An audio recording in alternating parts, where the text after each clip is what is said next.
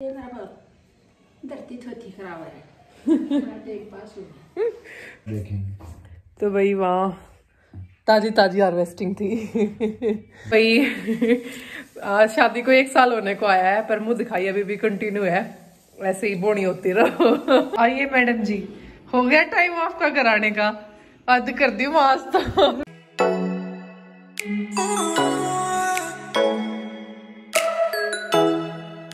Hello जी, राम राम, सारा नर में स्वागत करूँ आप सबका हमारे नए ब्लॉग में। उम्मीद कर आप सब ठीक होंगे, स्वस्थ होंगे और हमारा ये न्यू वाला ब्लॉग देख रहे होंगे। फ़िलहाल टाइम हो रहा है जी, साढ़े नौ और सोमवार है आज। तो मंदिर में जावा एक बार, आप भी सब कमेंट में लिख दो, ओम नमः शिवाय, हर हर महादेव। और भाई, आज देख लो, ये न्यू सूट है भाई, अब तक एक बार भी नहीं पहना था मैंने। आज ये पहना है मैंने फुल लुक दिखाऊँगी भाई मैं अपना। आए पीछे अभी लेट हो रहा है मंदिर में जाने में। साढ़े नौ का टाइम हो रहा है, मैंने बताई दी।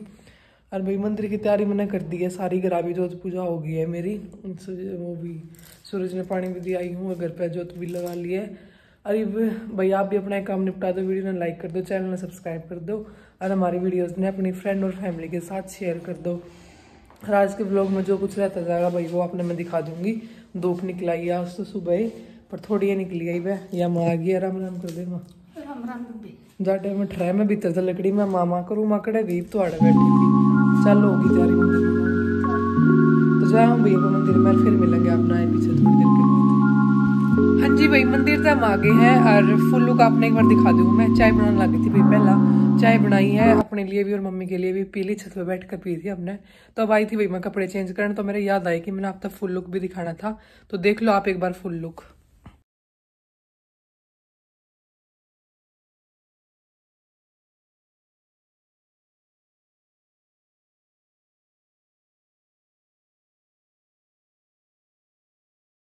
आइए मैडम जी हो गया टाइम आपका कराने का?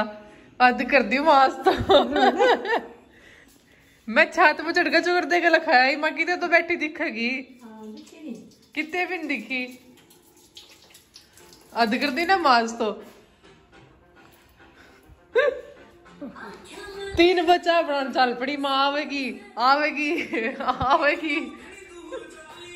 आज भाई मंडे है मेरा फास्ट है तो मैं चाय बनाऊँगी चाय बनाऊँगी। भी पड़ता है। हाँ मैंने किया के स्टेटस देखे हैं फ़ोन ना पिला रहे हैं जो। तो भाई माँ ने मैं ऊपर जाकर छत पे भी चुकर देकर लिखाया ही कि जो तो बैठी दिखेगी बुलाऊँगी। आज तो माँ तड़के उतरी थी नीचे अरे पौने तीन तीन बज गए हैं दस मिनट रह रही है पाँच मिनट बजने में तीन बजने में। ये मेरा धरती थोती खराब है। तो नुए के धरती सोती खराब है। तो भाई ये इस सूट का फिटिंग मारू थी मैं। इसका तो लाग गया, दूसरा सी मुँह इब। और आगे का लोग कराएँगे? आपके साथ कंटिन्यू चाय बना दो पहले तो भाई मैं। घनी देर तक बाट में बैठी थी की। तो मिलते हैं गाइज़ आपसे थोड़ी देर के बाद। हाँ जी भाई, दिन में दिखाया था मैंने आपसे कि सूट स्टिच करने लग रही हूँ। मोस्टली हो गया है, बस एक पहुँचा आधा बनाना रह रहा है, एक कंप्लीट बन गया है। और साथ में भाई उबाल रही हूँ दाल। दाल उबलनी रख रखी है। छुट्टी आ जाएगी भाई। ये कुछ सुनने नहीं देगी आपको। क्या बोल रही हूँ मैं? तो भाई सूट ऑनलाइन कर लग रही थी मैं स्टिच। कमीज तो हो गया है कंप्लीट स्टिच और सलवार मैंने बताई दी कि आधा पोचा रह रहा है, एक बनाना, बस वो भी बनाई दूँगी। टाइम तो सवा छः छः के आसपास हो गया है। मोटर भी चला रखी है साथ में। आज मंडे है तो पानी भी आऊगा भाई। छः बज के दस मिनट हो गई है। और मेरे हाथ में भाई चाह का गिलास, साथ में पैसे। ये भाई आज शादी को एक साल होने को आया है, पर मुँह दिखाई अभी भी कंटिन्यू है। ऐसे ही बोनी होती रहो। नहीं, वही मतलब मज़ाक कर रही हूँ। मज़ाक क्या बात तो सीरियस है, पर ये मज़ाक कर रही थी कि बोनी होती रहो। एक घंटे आई थी भाई अभी। पता नहीं कौन थी तो मेरे को मम्मी बताएगी, आके अभी छोड़ने गई है मम्मी उनको। तो वो आई थी मम्मी से मिलने। उनको पता ही नहीं था कि शादी भी हो रखी है हमारी। तो वो मुँह दुखाई गाल कर गई है। सौ का नोट मिला है। अभी दस तारीख को एक साल हो जाएगा भाई शादी को। फिर भी पैसा आना कंटिन्यू है, मिलता रहे ऐसे ही। और भाई, फ़िलहाल बस एक बार वो कंप्लीट कर दूँ और फिर मैंने एक बार टंकी देख करनी है, ऊपर बर्डन हो रही होगी। काफ़ी देर की चला रखी है। और मोहित भाई सुबह के बाहर जा रहे हैं लेट आऊँगे। उनके आए पीछे उनसे तक मिलवा दूँगी आपने। तो ये फटाफट भाई, दाल मेरी बन गई है। मतलब उबल गई है, तड़का लगाना बाकी है। तो पहले मैं फटाफट एक बार सलवार कंप्लीट कर लूँ और फिर दिखाऊँगी अपना आगे का लोग हाँ जी भाई खाना पीना खा पी लिया है और मोहित भी आ गए थे कितने बजे आए थे साहब आप आठ बजे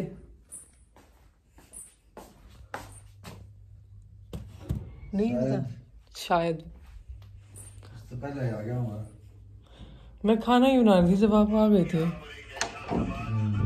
पौने आठ आठ के समथिंग आए थे आप तो भाई अब खा पी तो लिया है सारा काम भी निपटा दिया है टाइम हो रहा है साढ़े नौ साढ़े नौ क्या टाइम हो गया है जी? ठंड हो रही है वो तो घनी। ऊपर तो बाढ़ चाला थी भी छिड़ी। पानी भरा था भाई आज जाते हैं। ऊपर गई तो मैं पूरी छिड़ी बाढ़ चल रही थी। माँ भी लेट ली है भाई। तो आज का व्लॉग करे हैं यहीं पे एंड कल फिर मिलते हैं आपसे एक और नए व्लॉग के साथ। क्यों साहब? कहाँ गए थे आप आज? रेत में। राजस्थान गए थे भैया कुछ काम था वहाँ पे। और आज तो चाड़ा पट गया। कितने किलो किलो लेकर आ रहे हो आप? पाँच किलो। पाँच किलो। पाँच पाँच किलो गाजर दो किलो गोभी। ताजी थे ना जब उसकी खुद खेत की थी। हम्म। आज तो माँ बेगन पाट दिया तो पूरी दोनों हाथा मैंने उठाया लग रहे ऊपर माँ तो जुलम हो गया। क्यों साहब? जुलम क्या होता उसमें? तो मैं कल कल मैं रात को कल रात को कहाँ से आ रहा था मैं रोहित के पास से। हम्म, हाँ, तब भी लाने की सोच रहा है लेकिन फिर मेरे को याद था कि राजस्थान जाना है कल सुबह। वहाँ बाग तो होते ही हैं। बेर भी लेने वाला था लेकिन बेर वो काफ़ी महँगे दे रहा था उसमें पैक कर रखे ना उसने। पैकिंग पैकिंग के पैसे लगा खुले नहीं दे रहा था। बाग के बाहर ही। माँ भाई तो रहने दे तो रख ही ले अपना वो। फिर चक्कर लगा तब देखेंगे। तो भाई वहाँ ताजी ताजी हार्वेस्टिंग थी